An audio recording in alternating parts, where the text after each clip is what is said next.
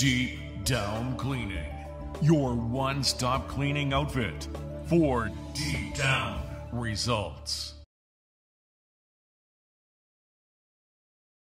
31-year-old former Bedford resident Chia-Hao Tang joining me here at the at the LeBrun Arena in Bedford, Nova Scotia, where you played a lot of hockey. Not only played it, but played it very well. First of all, thanks for taking time out Yeah. here, uh, and and and and maybe we can first talk about uh, the opportunity that you have because you're you're rising in the Yeah. in the movie world. Yeah, thank you so much. Um, I started acting uh, just under four years ago, and uh, so recently I've been given a great opportunity with a uh, major uh, Netflix superhero TV show called The Jupiter's Legacy, and uh, so we we're excited for uh, it's going to release around this time next year, and uh, everything is looking great from the whole production straight down. So very excited for it, and uh, can't wait for the audience to see it.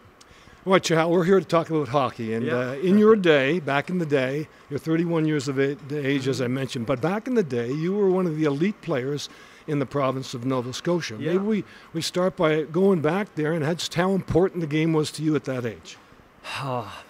I think when you are eight, nine, ten years old, you start to develop a certain identity. And I think you're, you know, especially competitive hockey and being in a place like, you know, Nova Scotia and, and Canada in general, hockey really is your world. You fully identify with it. Your everything is based on it. It, it even gets to the point where you think that you know your parents may like you more like you less depending on how you do on the ice. After every game you know the the comment you get from your dad or your mom on the way to the car on the way home these things mean a lot when you're only 10 or 11 or 12 and you just think your whole world is built on that. And even now we're over 20 years later a lot of these things still resonate with me. So hockey is i wouldn't even say was a big part if if it wasn't majority of our lives or what we identify with i can't really think of anything else Oh, as you got older, you started to become a little concerned about your dream, yeah and things perhaps started to fall apart a bit. Yeah. Um, so when I played Atom AAA, I was, I would say I was around my prime. You know, people say they peaked at a certain age. I think around Atom Pee Wee I was very good, and I obviously I think size play a factor. I was a bit bigger than most of the other kids, but at the same time, I think um, uh, I had. I think my mental game was just very, very weak when it got a little bit, when I got older. It, it was almost like if I wasn't the best player, I'd rather not play. So I also had a knee injury around 13 years old. So for Pee Wee second year, I sat out basically the whole year. And then when I came back to Bantam the next year, I was still among the one of the better players, but I was no longer dominant or elite. I was probably the top, you know, still the, one of the best players on my team, but I was no longer that dominant player who could take the puck from one end and just do whatever he wanted. I was still score a lot of goals, but it was it was just night and day difference. And you know, I remember transitioning from grade uh, grade 10 to grade 11. I went from Charles P. Allen to Sir John A. And I um, I had gotten um, uh, beyond depressed. I started developing panic attacks, social phobia. Um, I got so nervous in public situations, and you just completely, at 14, 15 year, years old, you completely lose your identity. And it got to the point where so many times throughout the day, I would be feeling just, you felt like your heart was racing at 100 beats per minute. And it was incredible. And you were just always so nervous and you were so insecure. When were you at rock bottom? Uh, I would say um, it was my. A lot of people don't know this, but my first year playing for Halifax McDonald's.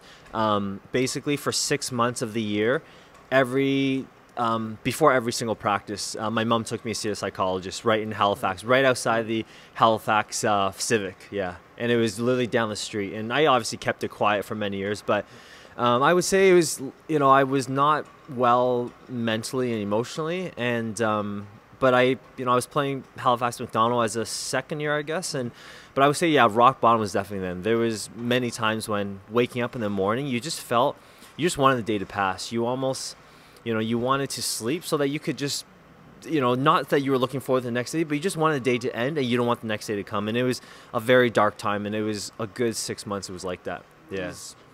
Number one is very gullible. I was very naive, and um, you know and i think i allowed so many people um, and i love my parents to death you know i think they they do so much for me but even the people that are closest to you you know the hockey coaches that you respect or your parents everyone people that you think know what the world is about.